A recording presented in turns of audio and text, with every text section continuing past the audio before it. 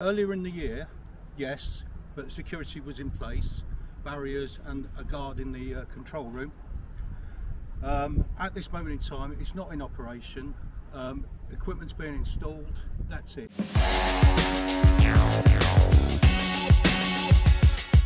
I'm not sure how this one's going to go.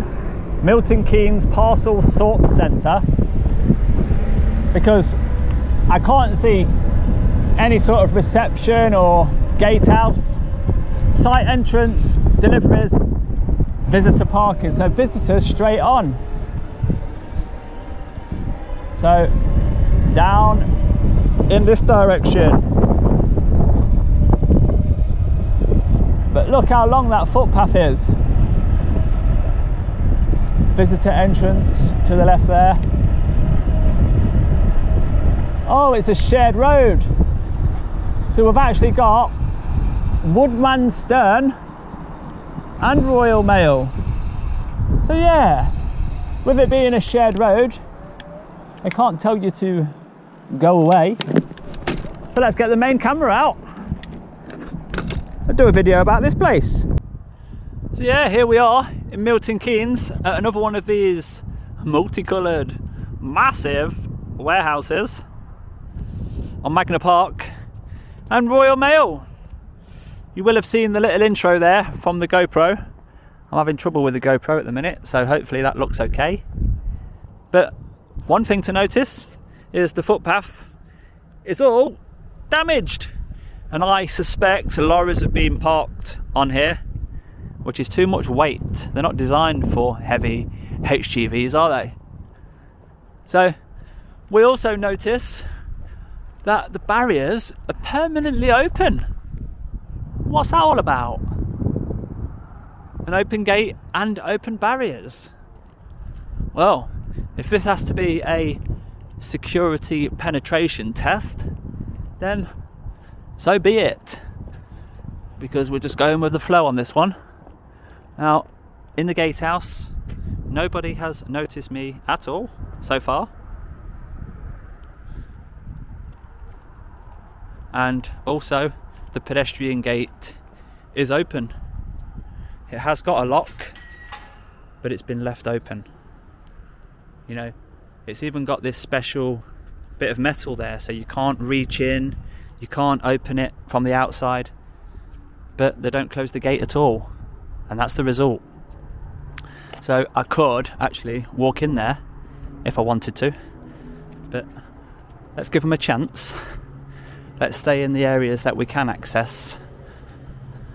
And look, we've got a nice view into the warehouse as I try and get my camera through the fence and zoom in. So, lots and lots of trolleys, and we can even see some conveyor belts in the background. In the mornings and at night, we're very, very busy and we've got a, uh, a skip that's got uh, well metal and paper in this one. Some of the cards that go on the uh, the top of the Yorks to identify them. So should we do a security penetration test? Yeah why not? Because the Royal Mail we all rely on the Royal Mail and we need them to be well on high alert and be aware of security. And we don't want our postal service being disrupted, do we? So we're in. We are in the warehouse or the sorting depot, should we call it? I've not actually stepped in just yet, but I'm demonstrating to you that I could easily be inside here right now.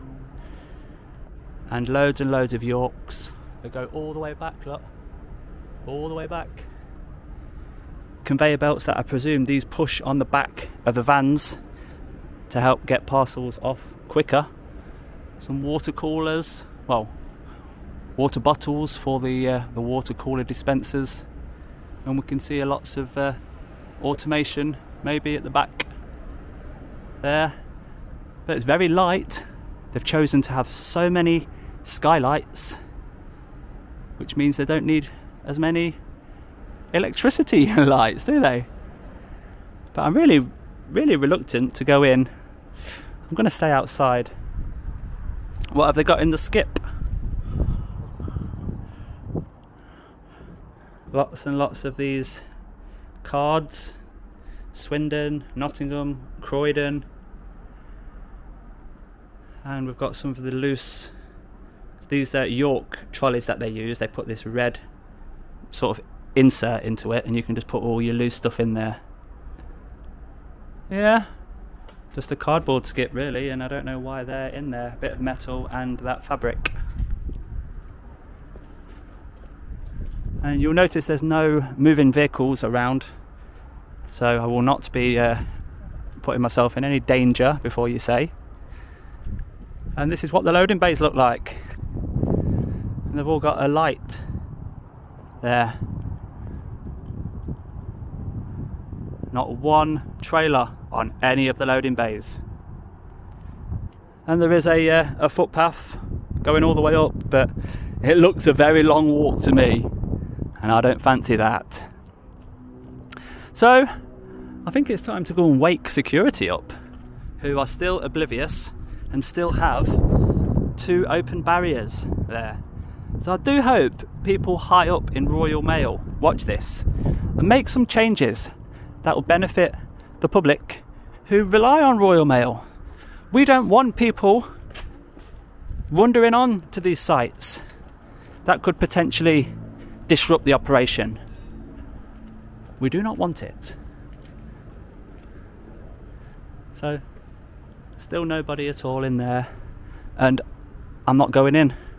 I've made the decision, I am not going in. So, let's go wake security up. Let's have a look inside this one. Let's see exactly what's in this skip. Yeah, they've mixed metal with more of these cards. And if you want to know exactly what one looks like, that's it. What a waste, eh? What a waste. Wonder how often they're chucking that uh, volume away. So, Mr. Security, I hope I don't find him asleep. I really hope I don't find him asleep.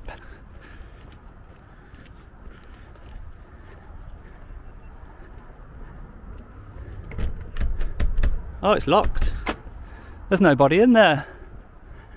There is no security.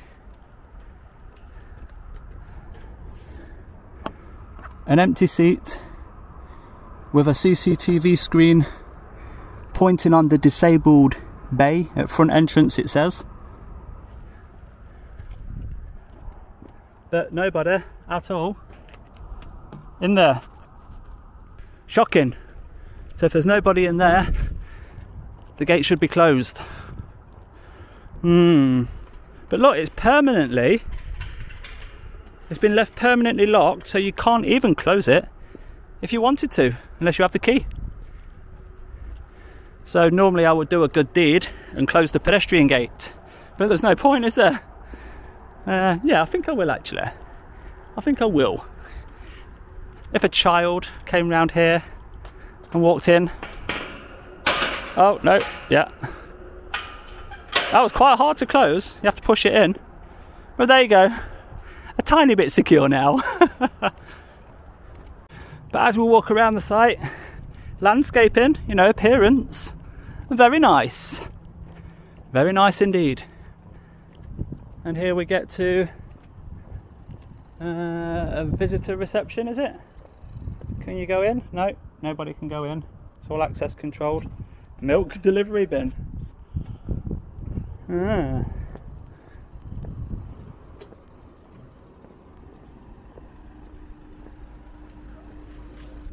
That's okay. I'm just doing a. Uh, oh, close. It's what's called a, a, security penetration test. So it's just from the public areas. If any, anything's open, we just go in and see far, see how far we can get. This was closed. Brilliant the back, the back is all wide open. In it. No, no, nothing to do with Royal Mail, but Royal Mail will be interested to see the findings Yeah, I, I look after the office side. Yeah, yeah, you're brilliant. You've got it all controlled. No, no complaints this side. All right, okay. All right. Um, is there anybody senior on site that I could just inform of the findings? Um, there is, I think, the, um, the operational managers around. Okay, I'll just tell you, um, I'm going to go back over the road, and for the next 10 minutes, I'm just going to be taking the drone around just to finalise the report. If you did want to tell the, the person you mentioned there that I'm here, I've just done a test, it didn't go too well, if they do want to speak about it, I'll be there for 10 minutes, all right? All right, thank you. So there you go. Security penetration test in the public interest with no malicious intent, and we didn't actually go into the building. I could have, and then uh, when you're asked to leave, you leave. It's only trespass, but I've decided not to. So yeah, let's remain where we can be seen with the drone and see what the uh, the big boss man has to say. So, as always, we've checked on drone assist. There are no flight restrictions in this area. Let's take David over Royal Mail.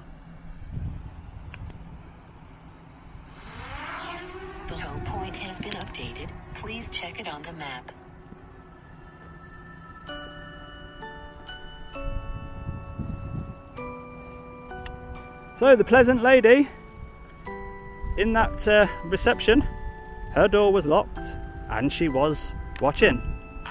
But security down there, shocking, isn't it? Shocking. So when you think that your parcels should never go missing or they say they've got disruption at the mail centre or there's been a delay or whatever, could it have been somebody's been in there and tampered with the machinery to stop it from working? Or planted some sort of surveillance device to to capture information? Or have they got in there and swiped a parcel? There didn't seem to be many parcels in there but we've come on a friday afternoon and i dread to think what it's like at other times of the day. So, uh, an amazing building, very big, but just a shame of uh, what we've found. So, there is going to be nothing on those sides at all. So, we've literally got these loading bays and no solar panels, and still the wide open gate, open barriers, no security. So that's all I wanted to show you really on this drone footage. We wasn't expecting to see anything majorly interesting and we've already done a 360 when we uh, visited these other units in the background. I'm not sure what video is going to come out in what order so yeah you'll know if we've done one of these buildings before because you can't uh, you can't get it mixed up with any other type of uh, building. So let's get David back and see where this one goes from here. So that was the drone footage. You know, we wasn't expecting to see a major excitement on this place, but at least you can see how big it is. So while we wait for Mr. Bossman, if he does want to come out and take the matter seriously, let's comment on this. This big crack in the uh, pedestrian footpath, which normally comes from subsidence or vehicles parking on the footpath when they shouldn't. But because it's all the way over here, I'm thinking that they didn't concrete this border in enough, and it's just managed to uh, to fall away. Very, very poor foundations, and uh, so yeah, that's my suspicion anyway. But you guys, let me know. There's a lot of ground workers that watch this. Let's follow the crack and see what's happening behind this barrier for some more clues while we wait. Yeah, it looks like they've tried to reinforce it, look, with more concrete on the edge. But even that has come away. So it looks like even though they've tried to put more concrete, it's still falling away. So this grass bank just seems to be falling. So take the whole lot off and concrete the whole thing. it will cost a lot of money, but it will save doing all these repairs down here. and I'm not sure what that's all about. So if I try and scrape this uh, this away here, we should see where the concrete ends. Yeah, you can just about see it. So it's only got this much concrete. Put it back how we find it.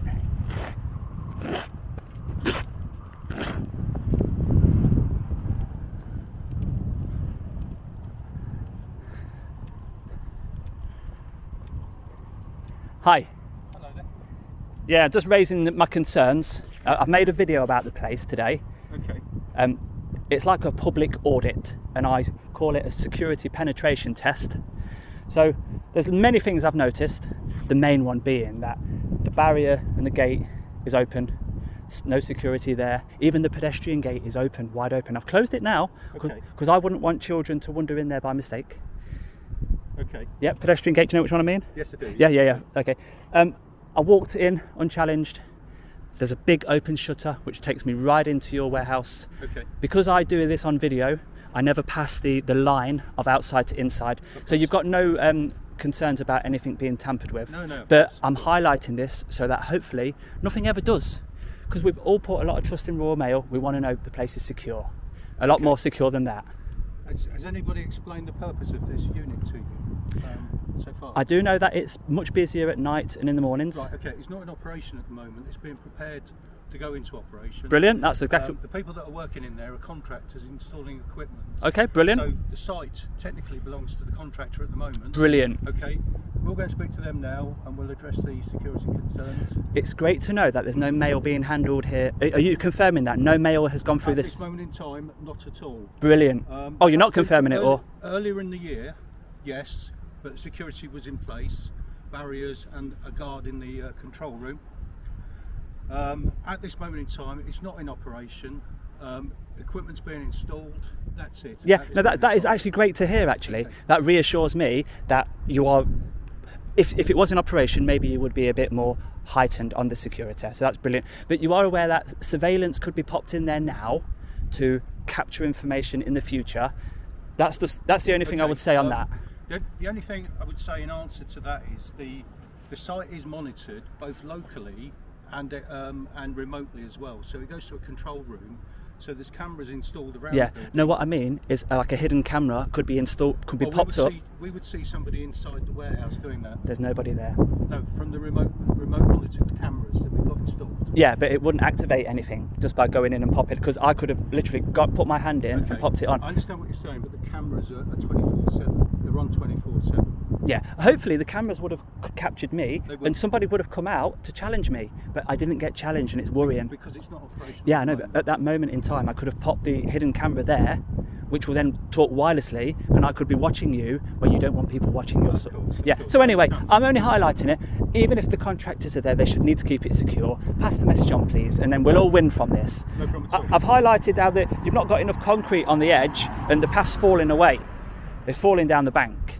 Uh, so you know, it's, that's probably not Royal Mail concern. I don't. I wouldn't have thought it's so, the but it's- um, it's like Yeah. the- it's like this business park, isn't it? But it, it's worthy of concern. You know, It pedestrians. looks like they're on it anyway because they're No, obviously That's separate. work. Oh, is it? Yeah, yeah. You have had you have had um, repairs. You see the little concrete along the edge. They have tried to repair it, but it's already falling away. But that's minor compared to what I've just spoken about. no, that's, that's absolutely fine. Thank you for pointing that out. Uh, just to reassure you, though, none of our vehicles park on the pavement, so No. our vehicles have not caused that. It's, it's part of the. Do you know if vehicles if vehicles had caused it, you'd see the crack here. Absolutely. So I agree with you. Absolutely. Yeah. It's okay. Thank you for your time. No problem at all. Yep, thank you. Cheers. So there we go. It's a security penetration test at the Royal Mail facility. They uh, assure me it's not in operational right now. It's having new equipment put into it so that it can help the network in the future. It looks too used. It doesn't look a brand new facility. So, but he has confirmed when there was uh, much busier, you know, maybe at Christmas, maybe during COVID, they used this place and then security was present. But okay, that's uh, reassured us a little bit. so Why are all the lights on? anyway, right, that's Royal Mail done. We try and make a difference. We try and close these security weaknesses when it matters to us. So I hope you enjoyed that one. If you want to see more security penetration tests being done when there's clearly no security and there should be, then do let me know in the comments. But for now, from Royal Mail here in Milton Keynes, Grove Park, please give it a thumbs up for me and I'll see you on the next one, guys. Bye bye for now.